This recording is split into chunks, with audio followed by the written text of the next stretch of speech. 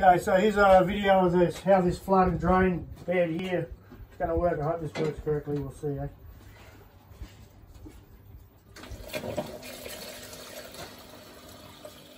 So the pump comes on and it floods the bed.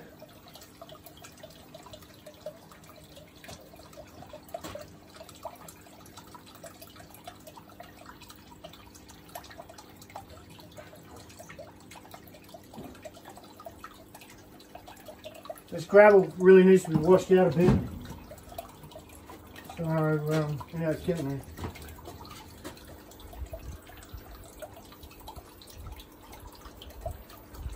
And that other flood and drain works the same, but you can't see because the gravel's in the bed. This is how it works. So it doesn't need, you don't need flow from one end to the other because the water will find its own level. So it comes up like that it's already at the point where it's going to return.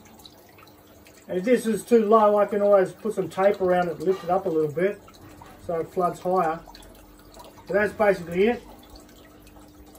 Then it switches off.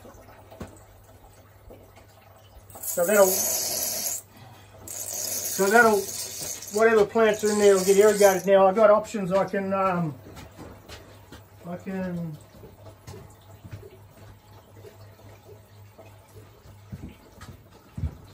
I can put plants into pots like this.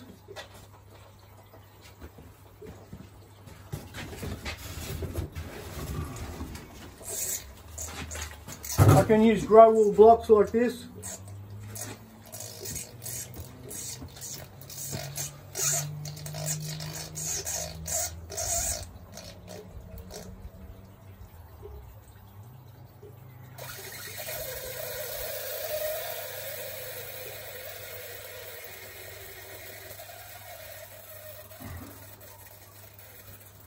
So if I'm using grow all of this, I mean, this system probably only has to come on like once a day, maybe even each, even two days, you know, once these uh, plants are in, and it should be fine.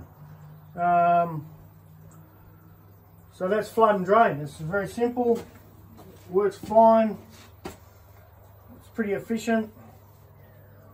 Uh, yeah, that's it. So this is aquaponics, but um, if I need to sterilise this, I can uh, add up to three up to uh, three percent hydrogen peroxide. It'll, it'll, kill any algae that grows in here without um, allegedly without harming the fish. That's what I've read. So um, we'll. Um,